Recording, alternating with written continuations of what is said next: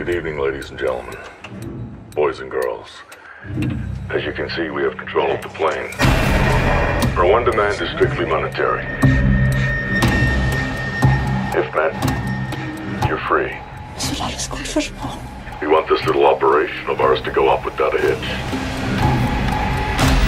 If not, well, use your imaginations.